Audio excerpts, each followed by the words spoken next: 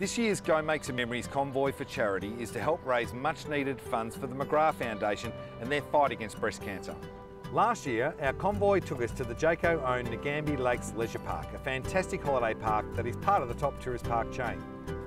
One of last year's top 10 destinations within two hours of Melbourne, it became a home away from home for the WUDU crew and also was the venue of our biggest concert for charity of the last summer series.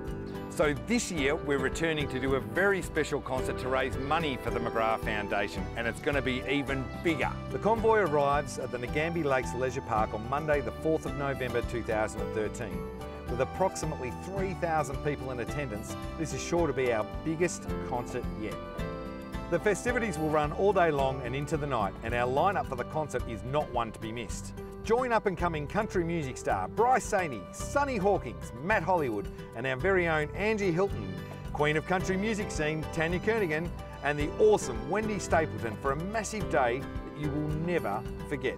Stay on for Cup Day Tuesday and watch the big race on the big screen and enjoy more fun events throughout the day with our cast and crew. Dress in your finest Cup Day gear for a crack at some great prizes and giveaways throughout the day.